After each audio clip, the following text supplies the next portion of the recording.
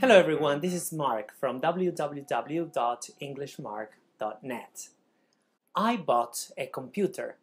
It's a brand new model. I bought a computer which is a brand new model. In this video, I'll talk about relative clauses.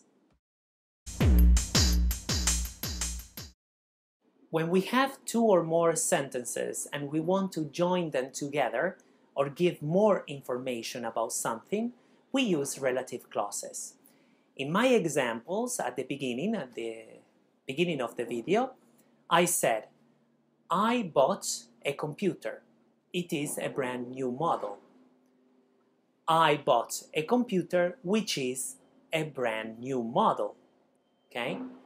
This is also called a defining relative clause. Why?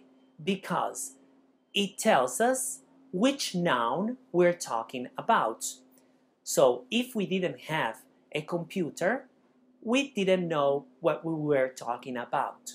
So the noun computer it's very important. Okay. We use also with uh, this defining relative clause who for people, which as I said for things, and that's for both. We also have the non-defining relative clause or clauses. These are clauses that give extra information about something.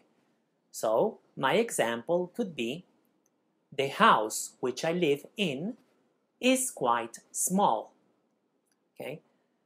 As you can see, I used which okay? But I can also use when, where, whose, why.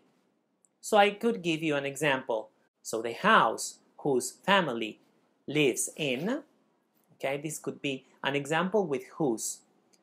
When, the summer when I met you, where, the house where you live, etc or why, the reason why I chose this video, okay? So now let's recap. We use relative clauses, okay? When we want to give extra information about something or we want to join two sentences together. They are defining and non-defining relative clauses. Now, write your example of a sentence under this video. I hope you enjoyed the video and I see you next time. Take care. Bye bye.